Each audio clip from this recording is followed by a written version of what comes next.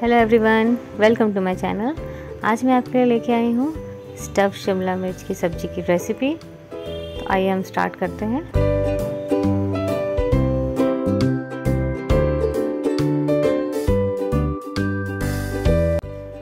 यहाँ मैंने लिए छः छोटे साइज़ की शिमला मिर्च, चार उबले आलू।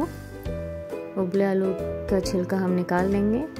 आप चाहें तो पहले भी आलू को छील के उसको बॉईल कर सकते हैं। उससे टाइम बच जाएगा।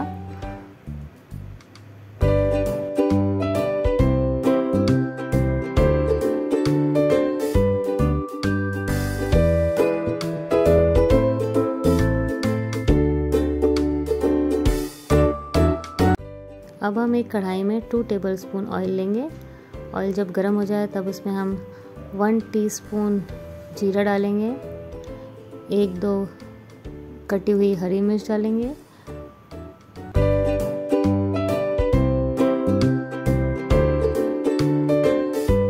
अब हम उबले आलू को मैश करके डालेंगे और हम उसको अच्छी तरह से मिक्स कर देंगे। अब हम इसमें हाफ़ टी स्पून हल्दी पाउडर डालेंगे। नमक according to your taste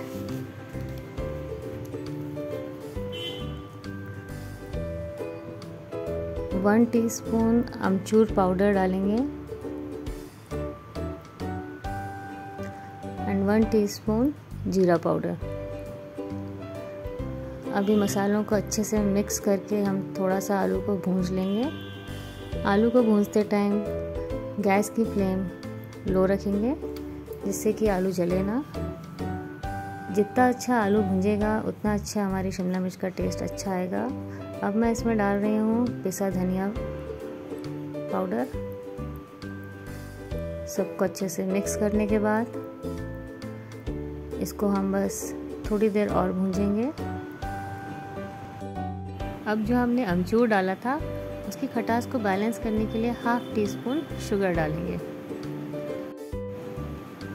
सभी मसाले अच्छे से भुन चुके हैं, आलू में अच्छे से सब मिक्स हो गए हैं। दो से पाँच मिनट हम इसको और कढ़ाई में रखेंगे, थोड़ी देर चलाने के बाद। अभी हमारा मसाला जो है एकदम रेडी हो गया है।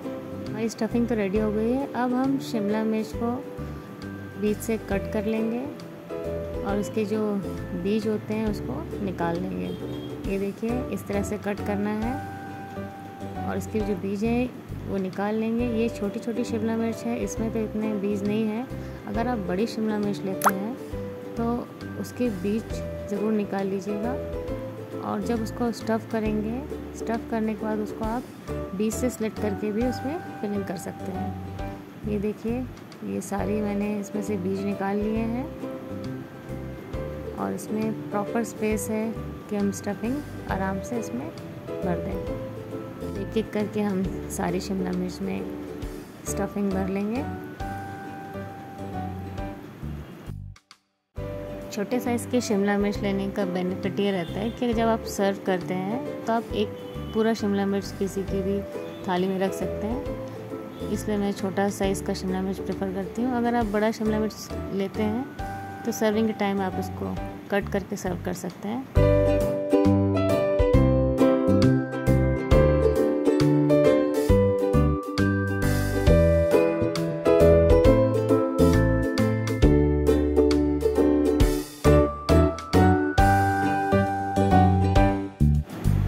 हमने सारी शिमला मिर्च में स्टफिंग कर ली है। अब हम एक पैन में ऑयल लेंगे। ऑयल हमें इतना लेना है कि हम इसको शैलो फ्राई कर सकें। अब एक एक करके सारी शिमला मिर्च को हम पैन में रख देंगे। तेल एक बार गर्म हो जाने के बाद हम गैस की फ्लेम को लो कर देंगे और लो फ्लेम में ही हम शिमला मिर्च को भुजने देंगे।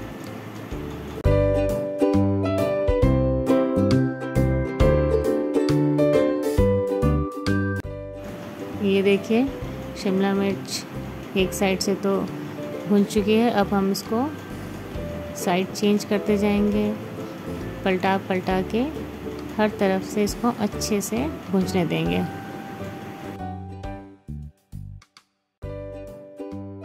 इसको बहुत ही पेशेंस के साथ भूंजिएगा एकदम लो फ्लेम पे। इसमें टाइम ज़रूर लगेगा, पर जो उसका टेस्ट है, बहुत ही अच्छा आएगा। आप इसको जल्दी भूनने के लिए फ्लेम हाई मत करिएगा अदरवाइज़ शिमला मिर्च जो है वो जल जाएगी और उसका फ्लेवर जो आता है वो अच्छा नहीं आएगा। देखिए कितनी अच्छी एकदम गोल्डन ब्राउन हो गई है और बहुत ही अच्छी तरीके से ये सिक रही है। आपकी स्टफिंग थोड़ी बहुत अगर बाहर आती है तो उसके लिए आप परेशान मत होइए। वो जो स्टफिंग भी रहेगी उसको आप फेंकेगा मत। उसको जब आप निकाल लेंगे, वो बहुत ही क्रिस्पी रहेगी और बहुत ही टेस्टी लगेगी। 15 टू 20 मिनट्स लगते हैं इसको भूंजने में। आप इसको पलटाते जाइएगा, एक ही जगह पे छोड़ देंगे तो ये जल जाएगी। प्रॉपर सीखने के लिए इसको साइड इसके जो है, वो चेंज करते रहिएगा। ये देखिए, मैं भी इसके साइड चेंज करते जा रही हूँ। अब लगभग ये हर तरफ़ से तो हो गई है। थोड़ी बहुत एक दो साइड से जो रह गई है, उसको मैं पलटा के और भूज देती हूँ। ये देखिए, बस कुछ ही देर में ये रेडी हो जाएगी। इसकी स्टफिंग में मैंने सारे मसाले डाल दिए थे, नमक भी डाल दिया था। तब ऊपर से हमें इसमें कुछ भी ऐड करने की ज़रूरत नहीं है। आप देख सकते हैं कि शिमला जो है हर तरफ़ से देखिए प्रॉपर सिक चुकी है। मैंने इसको हर तरह से पलटा के देख लिया। ये चारों तरफ़ से अच्छे से भुंज गई है। अब हम इसको पैन में से निकाल लेंगे और गर्मा गर्म सर्व करेंगे।